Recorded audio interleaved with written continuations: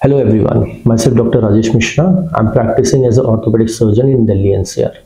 आज हम बहुत ही इंपॉर्टेंट टॉपिक में बात करना चाहते हैं जिसे कहते हैं शोल्डर इम्पेजमेंट सिंड्रोम जैसे आप देख सकते हैं कि मेरे पास एक स्पेसिमेन है शोल्डर का जिसमें एक ह्यूमरस बोन है एक स्कैपुला है and this is the shoulder joint अब what is shoulder impingement syndrome shoulder impingement ये होता है कि जब आप अपने हाथ को फ्लेक्शन एंड एक्सटेंशन करते हैं तो आपको मूवमेंट में प्रॉब्लम होती है एग्जैक्टली exactly क्यों होता है? देखिए, जो जिम पर्सन है या फिर स्पोर्ट्स पर्सन है, जिनकी ओवरहेड अबडक्शन एक्टिविटीज़ रेगुलर होती है, उसमें क्या होता है? There is a minor tear in the rotator cuff अब what is rotator cuff it is a layer which is surrounding the shoulder joint एक लेयर होता है जिसमें तीन चार मसल्स होते हैं टेंडन वो एक शोल्डर जॉइंट को अलाइन करते हैं, ठीक है?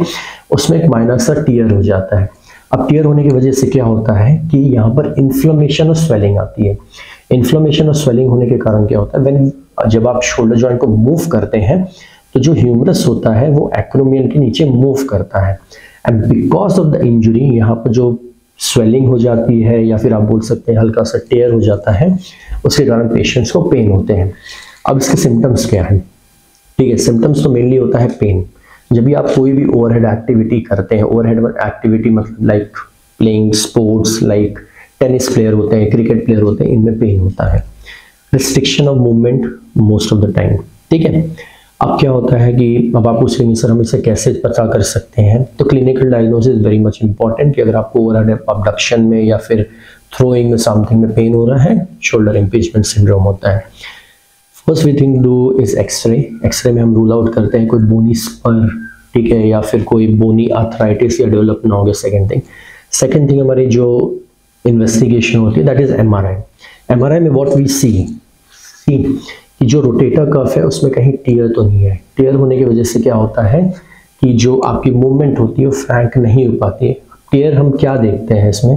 कंप्लीट टीयर है पार्शल टीयर है।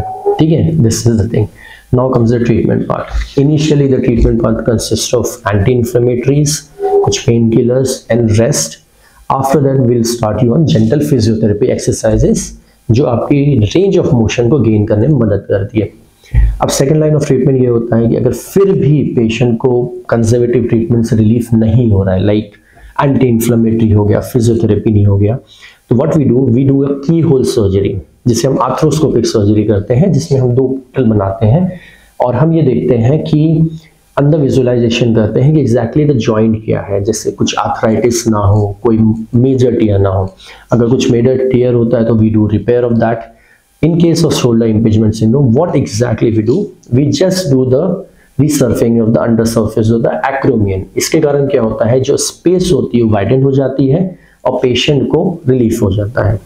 After any procedure as I always tell you our physiotherapy exercises is very important to regain the function. Thank you.